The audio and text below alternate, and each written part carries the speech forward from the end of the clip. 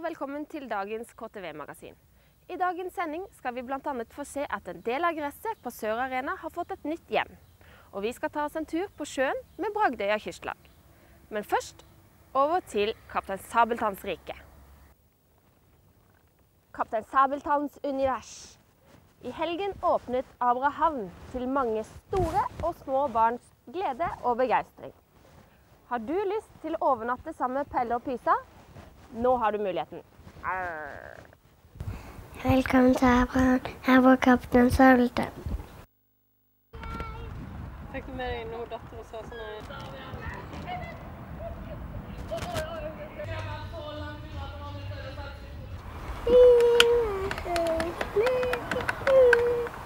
Drømmen om å få bo i kaptein Sabeltanns rike kan nå bli oppfylt.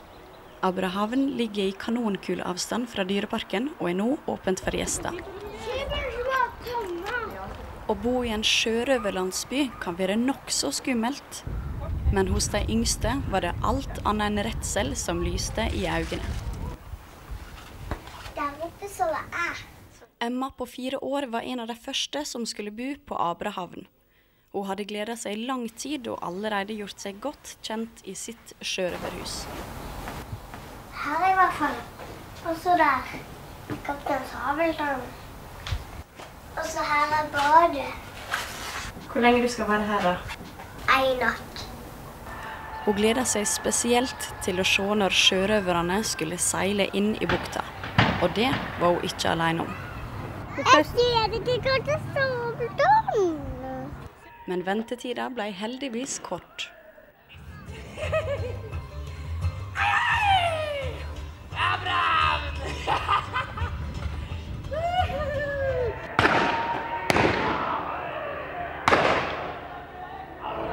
Tusen takk for hjelpen! Igor!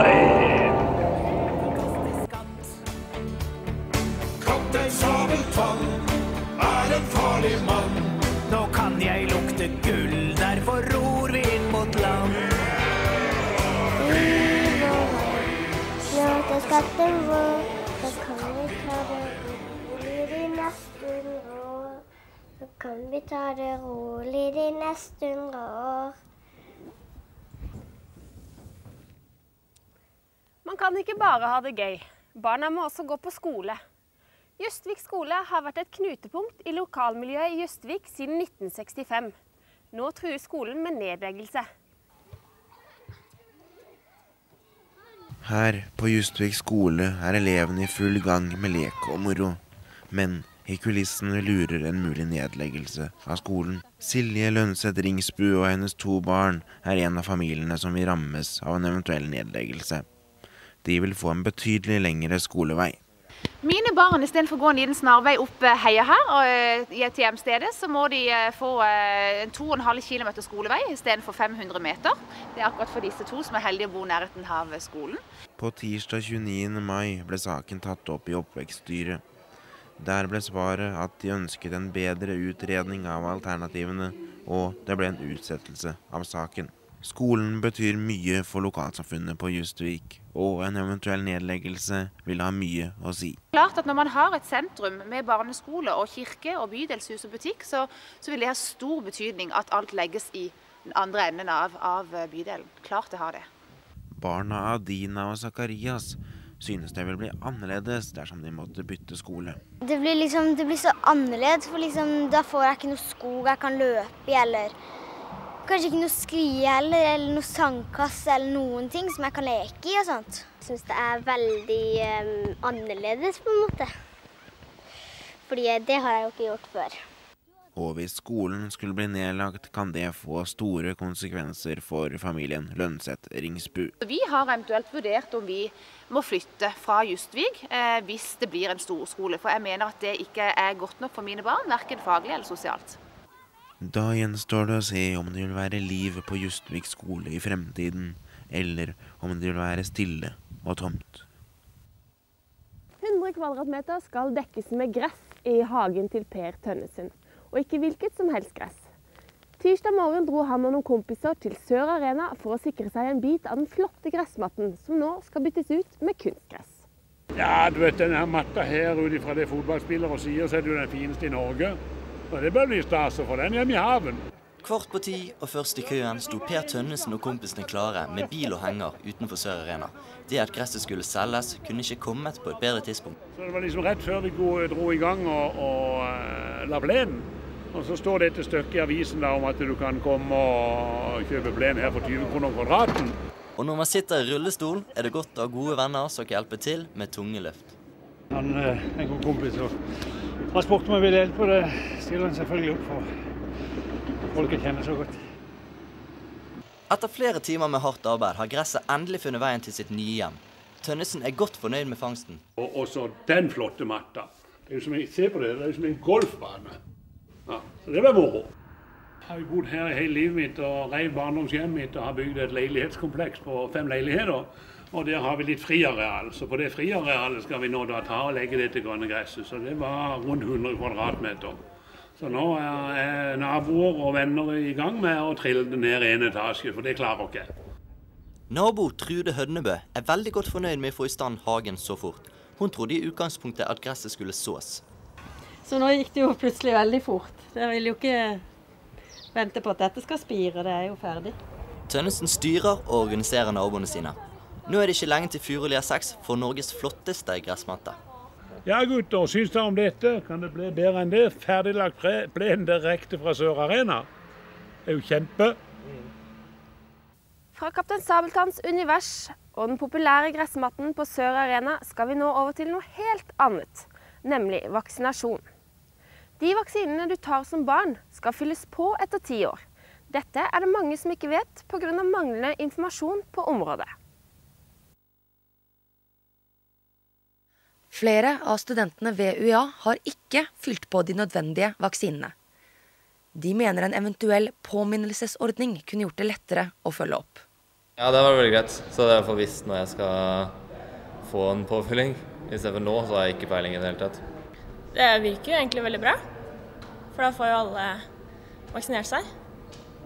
Det er jo veldig greit.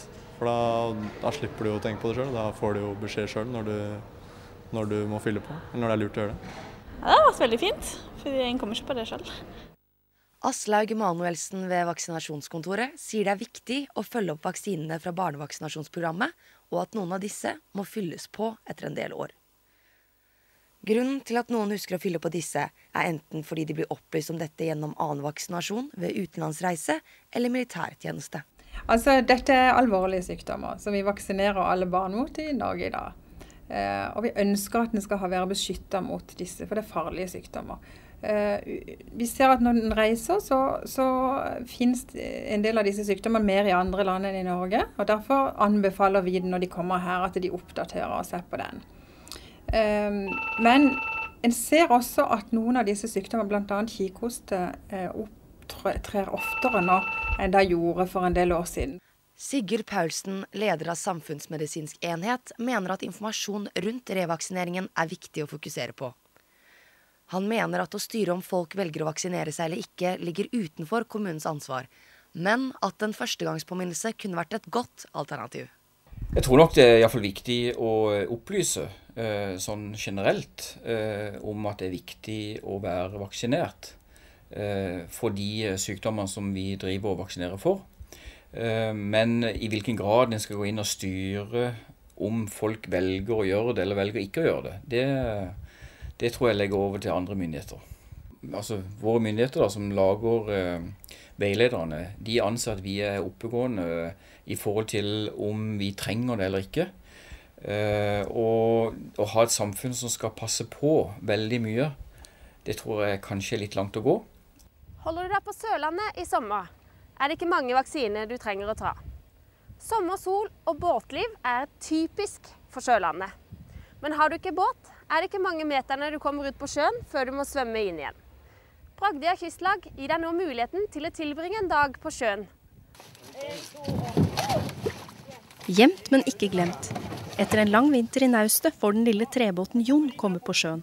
Gjennom dugnadsarbeid restaurerer og vedlikeholder Bragdøya kystlag de gamle båtene, slik at flere skal få glede av sjø- og båtliv. Og hvis du vil lage deg din egen båt og bestemme farge helt selv, så arrangerer Bragdøya kurs hvor du kan ta med deg båten hjem etterpå. Det er jo bare en 10% av Norges befolkning som kan ro i dag. Så det er jo noe av tanken bak dette her også, på den lysten til å ro, da. Dette er altså lyngørputter som eh, skolebarna på Lyngør brukte istedenfor skolebuss. Så har vi kopiert eh, den delvis, og så bygger vi det på, på kurs på høsten og på vinteren. Og vi satser på at det er helst generasjoner som går sammen om å bygge den. Og når ungene kommer her, så er det spesielt de fargene som jeg vil ha den grønne, jeg vil ha den gule og sånt Og så, så er de ute og så prøver seg. Klarer du ikke å bestemme deg for farge? Eller vil du ro en gammel båt som noen har bygget for mange, mange år siden? Noen av båtene som ligger her er langt eldre enn mange av oss. I denne omgang skal småbåten Jon bare inn til brygga. Men småbåten Augland skal i kveld ros i land i Auglandsbukta. Til alles bruk. Det gikk.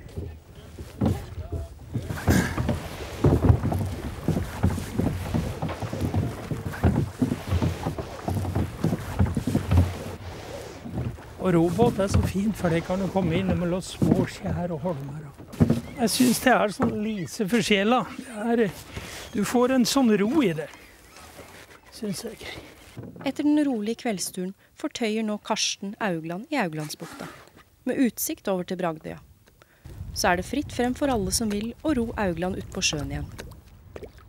I dagens sending har vi bl.a. fått se en heldig mann som har fått en bit av Sør Arenas populære gressmatte hjem i sin egen hage. Og vi har også fått med oss at det er lurt å vaksinere seg etter ti år når man vaksinerte seg som barn. Dette var dagens KTV-magasin. God sommer! Thank you.